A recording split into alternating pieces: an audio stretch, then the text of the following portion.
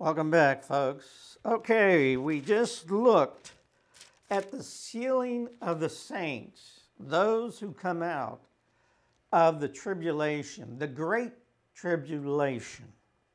There's tribulation around since the beginning of time, but this is going to be one that is going to be the great.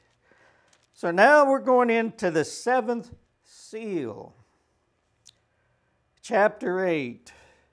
And when he opened the seventh seal, there was silence in heaven about the space of half an hour. And I saw the seven angels which stood before God, and to them were given seven trumpets. And another angel came and stood at the altar, having a golden censer. And there was given unto him much incense, that he should offer it with prayers of all the saints upon the golden altar which was before the throne. And the smoke of the incense, which came with the prayers of the saints, ascended up before God out of the angel's hands. And the angel took the censer and filled it with fire of the altar and cast it into the earth. And there were voices, thunderings, lightnings, and an earthquake. And the seven angels, which had the seven trumpets, prepared themselves to sound. The first angel sounded, and there followed hail and fire mingled with blood, and they were cast upon the earth. And the third part of the trees was burned up, and all the green grass was burnt. And the second angel sounded, and as it were a great mountain burning with fire was cast into the sea, and a third part of the sea became blood. And the third part of the creatures which were in the sea and had life died. And the third part of the ships were destroyed. And the third angel sounded, and there fell a great star from heaven, burning as it were a lamp. And it fell upon a third of the rivers and upon the fountains of water and the name of the star is called Wormwood. And the third part of the waters became wormwood, and many men died of the waters because they were made bitter.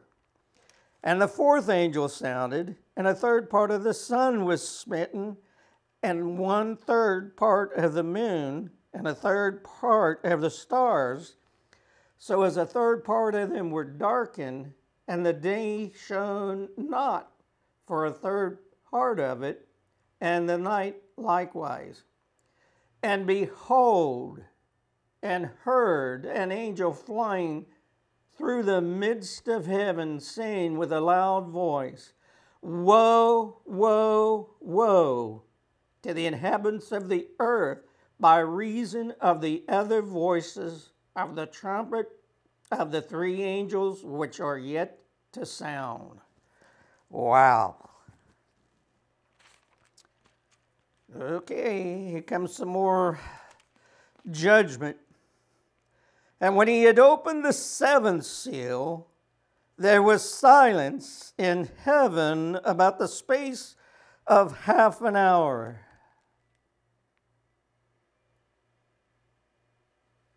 Silence makes us uncomfortable. Silence is a warning. When somebody stops talking, you kind of get concerned of why are they not talking? Is there danger around us? Did I do something to upset this person? Silence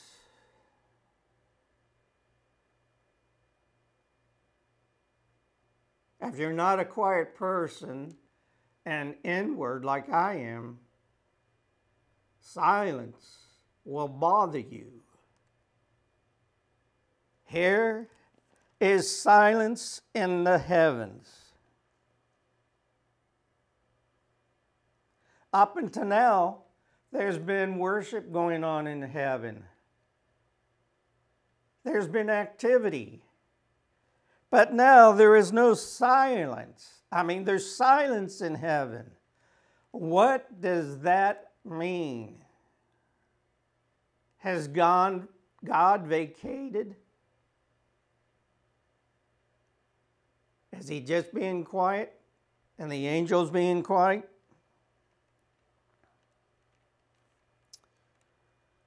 Verse 2 And I saw the seven angels which stood before God, and to them were given seven trumpets. Oh boy, seven trumpets. Remember, trumpet announces, a trumpet tells what's going on, tells you what's to do.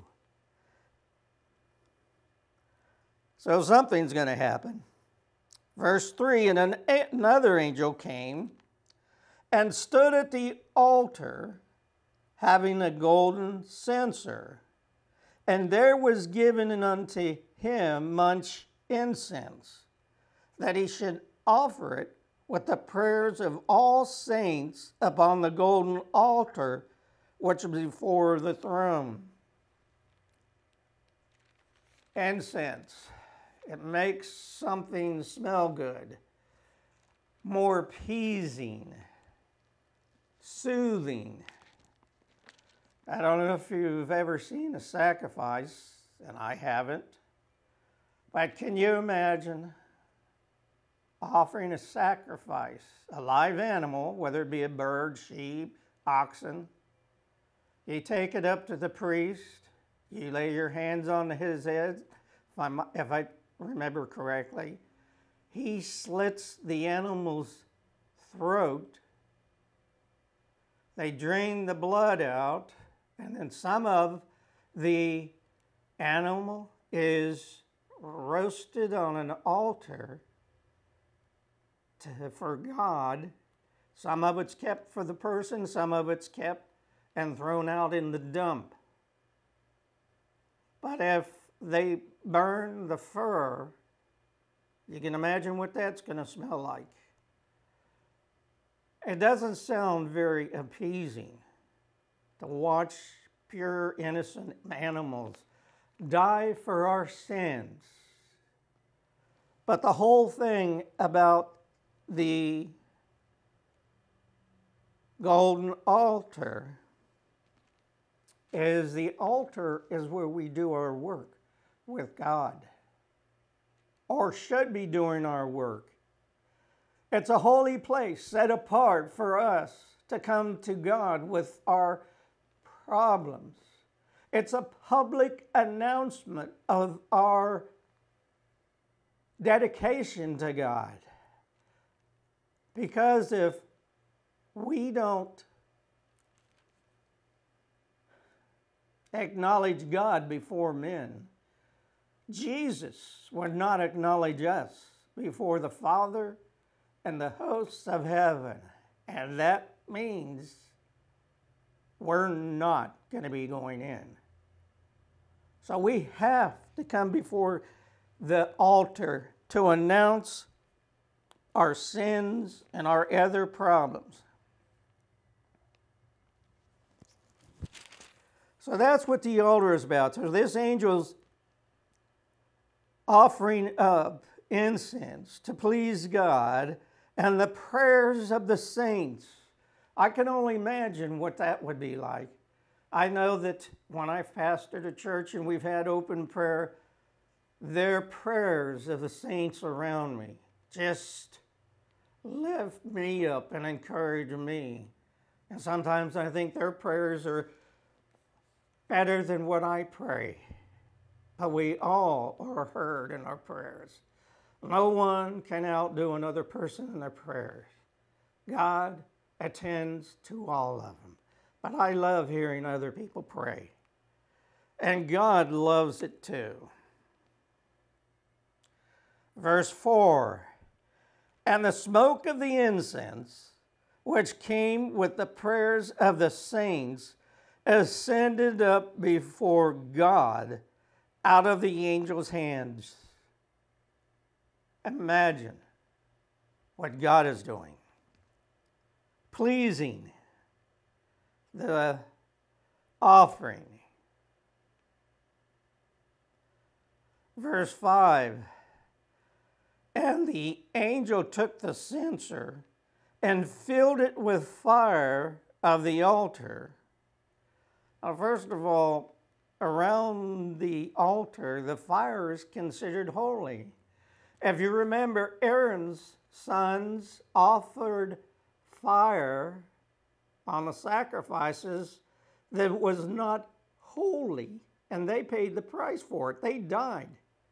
So, this fire is holy, sanctified by God. Very important. And cast it unto the earth. And there were voices. We've seen this before when God is speaking to man. Ezekiel, Isaiah, Jeremiah, Moses. Voices, thunderings, lightnings.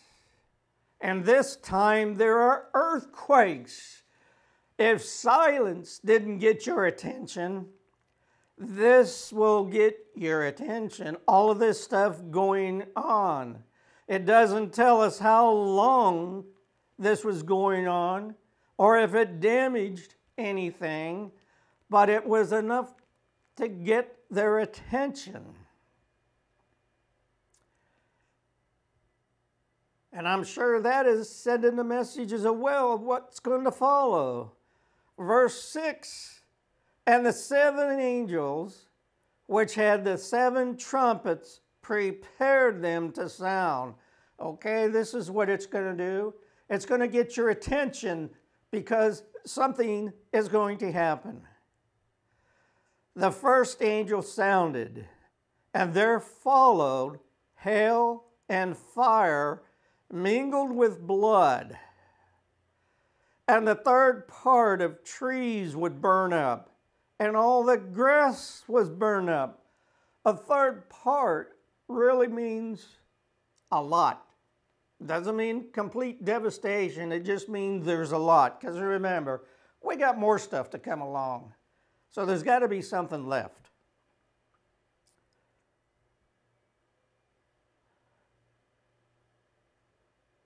hail and fire mingled with blood.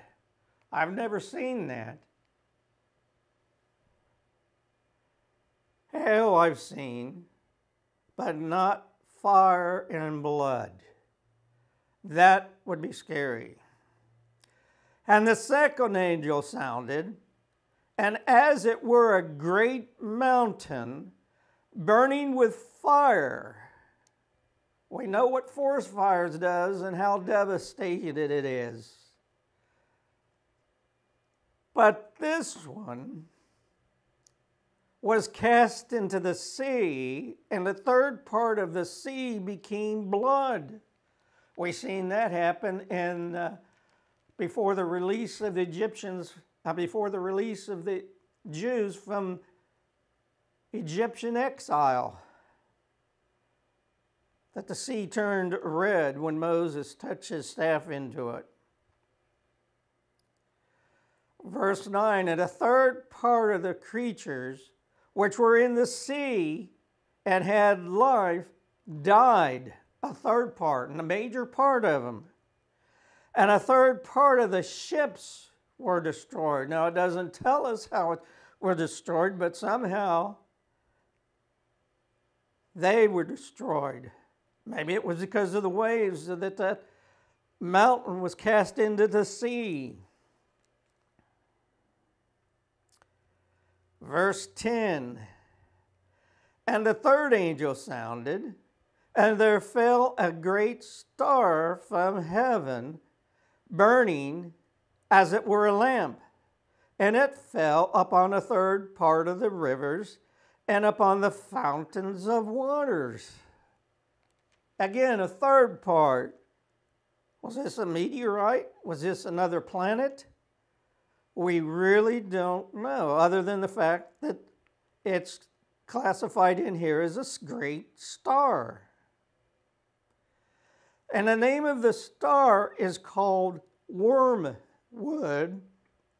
And the third part of the waters became wormwood.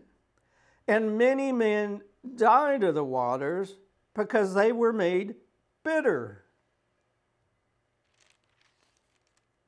Wow. And the fourth angel sounded, and the third part of that of the sun was smitten, and a third part of the moon, and a third part of the stars, so as that the third part of them was darkened, and the day shone not for a third part of it, and the night likewise. What does it mean to be stricken? It means to be hit, but by what? Well, it's kind of apparent that it was God using his power to smitten the sun, the stars, the moons, and so forth. Verse 13 And I beheld, he's really paying attention and listening to what's going on. He may, again, may not understand this, but he, for the moment, he sees it. It's real to him. And heard an angel flying through the midst of heaven, saying with a loud voice, Woe, woe, woe to the inhabitants of the earth by reason of the three angels which are yet to sound. Isn't this enough judgment or wrath? But there's more to go. A lot more to go. Slowly, God is allowing them to see His majesty, His glory, His power, and honor. We'll see you in the ninth chapter.